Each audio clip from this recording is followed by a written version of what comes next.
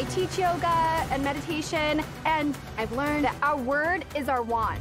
You speak it into existence, and it happens. I am going to be the next sole survivor. Bing, how are you going to do it? I'm going to build personal emotional connections. Bing, bing, bing, bing. Don't lose your focus. Channel whatever you need to. Jeff. Danny.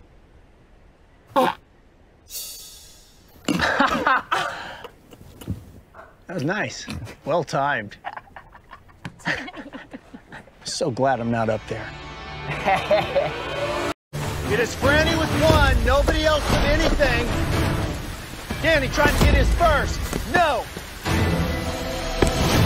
Frannie does it! Frannie wins her third individual challenge of Survivor 44. And the biggest reward of the season. So that's why I asked a question, Danny. So I'm not comparing. I was just clarifying. Oh, okay, cool. Are you annoyed? Absolutely.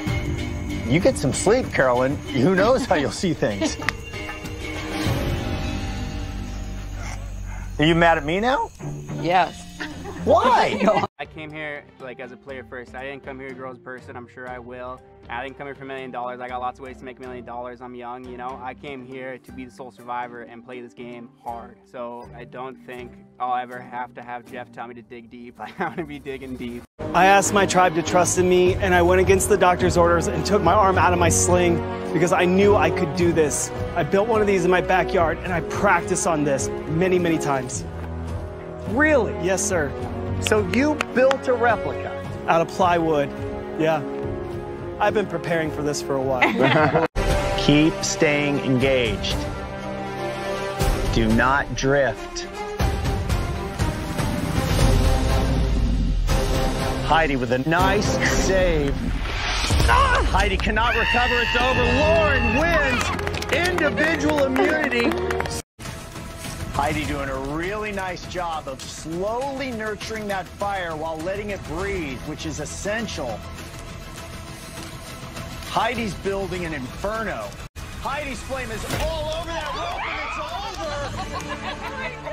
Heidi has done it. I would take my time to build a real relationship with each of you and see how your eye twinkle when you're talking about your loved one or your eye twinkle when you're talking about food or about your work. So when you guys were lying to me or not telling me the truth, that twinkle went away. So I used your emotions and your facial expressions that I knew were real and compared them to when they were not real. And that's why I'm so successful working with people. That's how I use emotions in my favor. Not only my emotions, but how I use your emotions to know what was going on. And I'm just like beyond ecstatic because all my hard work paid off. I have 3D printed this puzzle in my house and put it together probably a thousand times. I think it's a lesson that you should always be prepared. And now I've made the merge. It's definitely one of the best days of my life.